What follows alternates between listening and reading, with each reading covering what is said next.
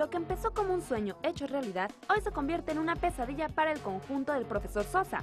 Los Leones Negros de la Universidad de Guadalajara están muy lejos de encontrarse nuevamente con la racha ganadora con la que empezaron.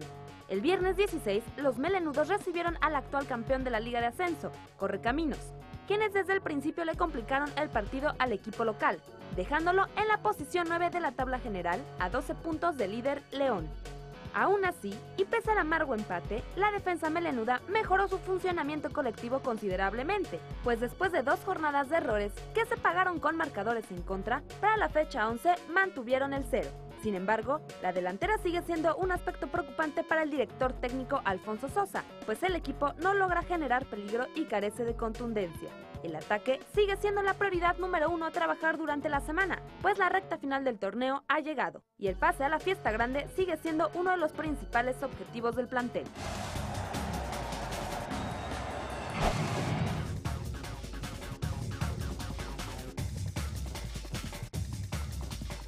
Vámonos eh, rápido a las estadísticas de la Liga de Ascenso, mi querido Eduardo. Así es, eh, pues eh, también lo que se vino en esta jornada número 11 de la Liga Ascenso se empieza a poner calientita también viendo los siete que van a calificar. León prácticamente pues casi ya está amarrando eh, pasar directo a semifinales. En los resultados, en lo que se presentó el día viernes, el Necaxa le metió 3 por 0 al equipo de Veracruz que no levanta, el equipo de Leones Negros en un partido que fue transmitido por Canal 44. Ante Correcaminos empató a 0. Lobos de la Benemérita Universidad Autónoma de Puebla 1 por 1 ante Pumas Morelos. El Dorados que le gana 4 por 3 al Altamira en un partido que fue de los más atractivos de la jornada. El equipo del Mérida que sigue sumando puntos. Estos son malas noticias para Leones. 1 por 0 le gana al equipo de Cruz Azul Hidalgo. León que le pone una goliza de 5 por 0 al Celaya con varios goles de Sebastián eh, más. Nesa 2 por 2 ante el equipo de la Trinca Fresera del Irapuato. Y esta semana descansó el equipo de la Piedad. En lo que es la tabla general, como le comento, el León se empieza a despegar ya con 24 unidades. El equipo del Necaxa le sigue en segundo lugar con 20 puntos.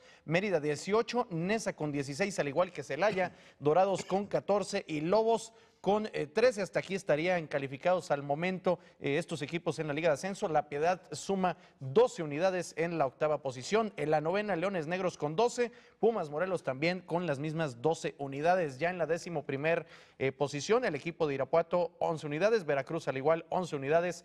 Corre Caminos 10 puntos. Cruz Azul Hidalgo 10 y Altamira con 10. Así es que bueno, pues Correcaminos ya alcanzó a los que pues iban adelante de ellos. Ahí está la liga de la tabla de porcentual pues son 22 puntos, súmele de distancia entre Mérida y Leones Negros, es un abismo ya de puntos lo que se empieza a alejar. No, que no sirve para esta, pero es hasta el siguiente año, así es que bueno, pues se viene difícil lo que se viene para el siguiente verano, no de este, eh, hasta el 2013, que pues podría ser peligroso para los Leones. Destacar, el, León tiene 10 partidos sin perder, invicto, goleador y rumbo ya a la calificación. A paso redondo. El reporte arbitral en la jornada 11 amarillas, 30 en total, 3 rojas para un total de 33. El acumulado del clausura en lo que van 11 jornadas, 464 amarillas, 34 rojas, 498 eh, tarjetas en total. Sume la registradora. El siguiente partido de Leones Negros, como lo comentamos, es de visitante este fin de semana contra el equipo de Pumas eh, Morelos, allá en Cuernavaca, en lo que va a ser eh, en la tarde.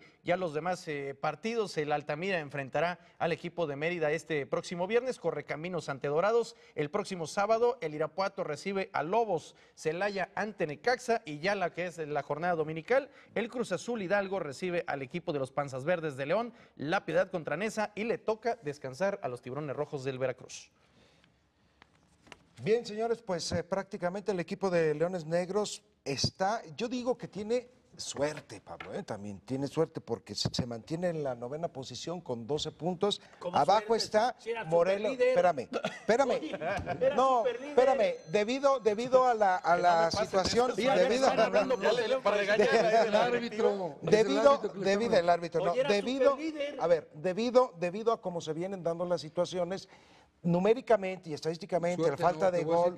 bueno, está jugando mal. Es un torneo medio. sí, prometió mucho al principio de temporada pero déjame y se le ha caído el equipo. ¿eh? Déjame explicarte por qué. Abajo de él está Pumas, Irapuato y Veracruz, que, son equipos que viene y se va a enfrentar y tiene la oportunidad de, si se aplican, poder sacar ventaja. Aquí ¿sí? Y el único que está arriba de él que es la piedad. Por eso tienes que que colarte lo a que- estar lo entre que los siete. Es que Eso. estos equipos que vienen abajo de Leones no han sumado para poder desplazar a. Leones porque ya estuvieron en que hay que la destacar de este decimoquinta por ¿eh? Leones Negros, suerte. que el, el equipo está desorientado. Ya lo vimos que no es el equipo que empezó el campeonato, ha sido una, una desilusión la forma en la que se viene jugando últimamente y de que le faltan delanteros.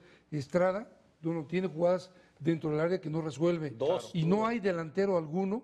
Y hubo remates de Héctor Gómez al borde del área grande, sin defensor al frente, prácticamente un tiro de penal y no llega la pelota a la línea de meta. O sea, falta potencias, jugadores que tengan un, un, este, cuando menos un toque privilegiado para hacer un gol, Pues no hay en Leones en el Negros. ¿eh? partido, como Folé, Folé estuvo de defensa, de medio y de hasta de, de delantero. Digo, en ese Es uno sentido. de los que cumplen, uno de de los los pocos cumple. que cumplen. Cristian López también dio un gran partido, a pesar de que Aquí estaba acalambrándose. Digo, eso es lo que falta. Y si todos dieran, lo hemos dicho, el, el talón de Aquiles de Leones Negros es la delantera. Se le está cayendo el equipo porque no hay delanteros capaces de resolver la problemática de Leones Negros. Tienen buena defensiva, tienen el portero excelente, extraordinario, que por cierto se salió tarde en una de las jugadas graves y por poco le cuesta el gol, ¿no? Y es, y es lento, ¿no? Digo, la, la- cómo está reaccionando también en el aspecto de refuerzos, porque este problema de goles lo ha tenido, no ha tenido un delantero bueno, se trajeron un africano también Si hace un año. Y ahora, son dos goleadores. pues está Es, en un es principio. sintomático en el fútbol mexicano. Sí. Los delanteros por eso cobran tanto, porque son aislados los que pegan. Fíjate, en la Vámonos a lista de corte, porque todavía nos falta hablar de América, de 10 que de es Alonso. Santos, Espérame. de los Es- y- líderes. Y, nada más entre los goleadores, el único Sabá con 7. Sí. Puros extranjeros. Vámonos a corte, regresamos. Gerardo Luna.